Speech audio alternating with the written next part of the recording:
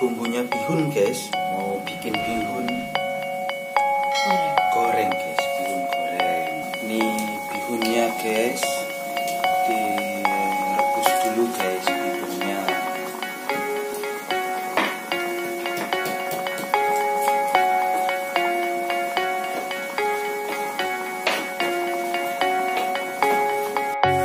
Ini sawinya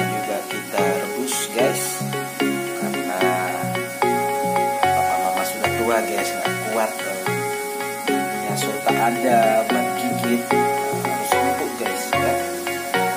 Demi kesejahteraan bersama